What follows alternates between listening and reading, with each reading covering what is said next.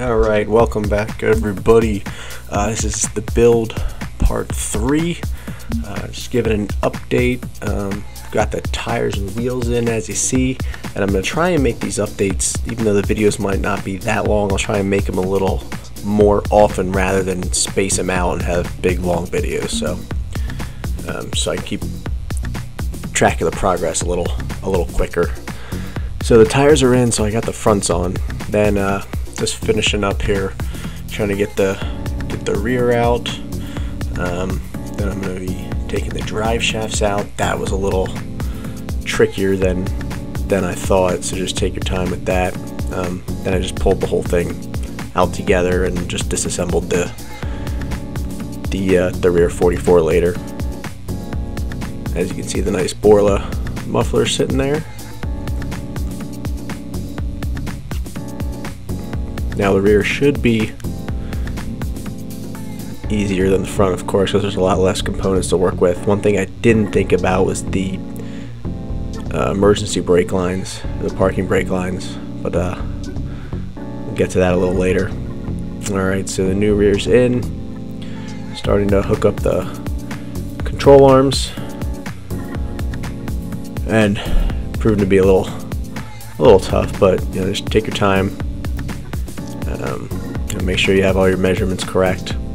I used the ones that came with Metal Cloak, and they seem to be they seem to be pretty good. But you know, just getting things lined up because the axle's heavy. You know, there's not much give in the in the control arms, and you know, I use that little jack that you know, the little stock jack that came with the Jeep, you know, to kind of prep it up a little bit where I need to. All right, now the rear uh, Fox Reservoir shocks going in.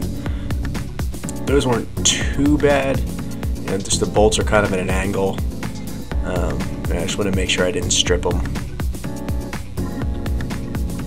So, like I said before, as with anything, just just take your time. Some things I did rush and wound up stripping bolts and gotten bolts broken off and then had to drill them out. And that's the kind of stuff that really just takes up way too much time.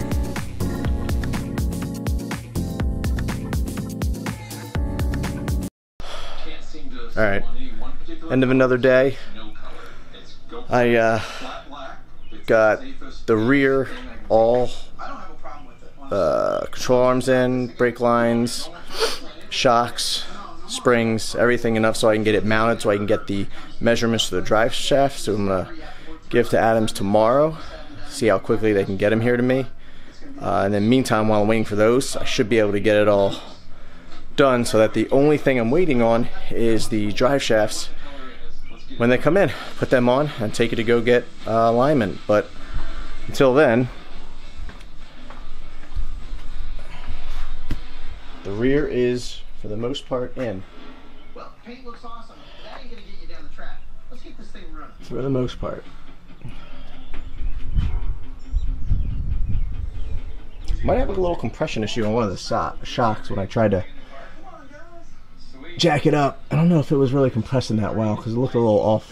Looked a little off. I also don't have the track bar in yet, so that could have probably been part of it. But uh, yep. Other than that, getting there. I'm exhausted today. Done for now.